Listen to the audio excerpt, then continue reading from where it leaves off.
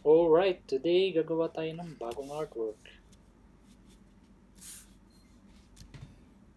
Mhm. Ito yung aking papel, Arches paper, 180 grams. Okay, sukatin ko muna, imaginary muna ako gano'ng kalaki ang gusto ko.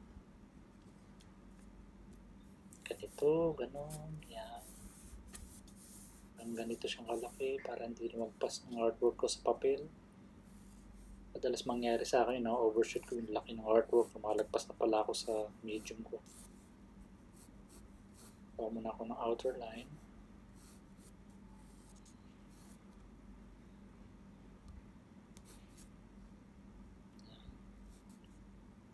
Tingnan ko lang itong process na ito hanggang mabuo ko yung artwork.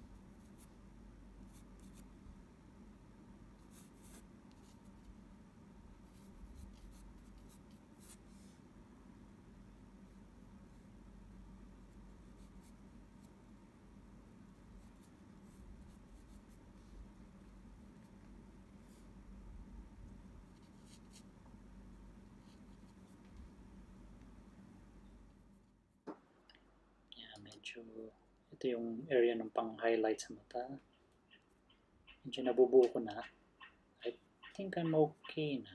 Konting detail na lang na as a, a uh, guide ko lang ito.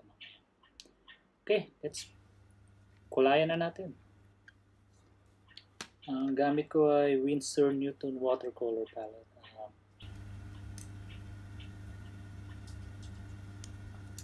Um, Yan. So, mag, uh, mamili ako ng brush. Dalawang brush lang ang gagamitin ko sa process na ito. Magmi-mix muna ako ng kulay. Ang gagamitin ko. Normally, hindi ko nililinisan ng paleta ko. Mga leftover na yan, ginagamit ko ulit sa susunod na project. Papasayin lang naman yan mga gagamit mo ulit. Yan. So, mamimix muna ako ng mga gagamitin ko kulay.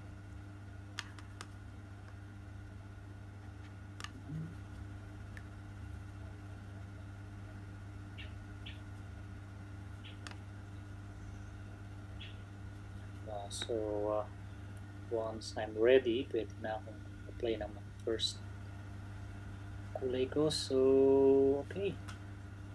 Let's let's do it. Speed this up.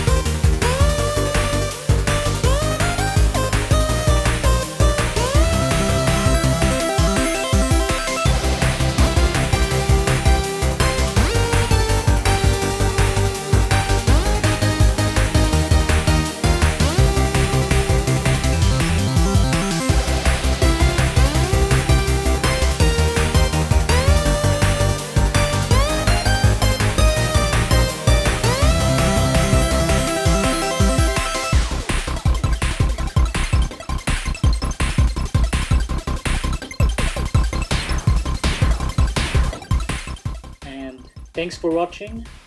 See you on my next video.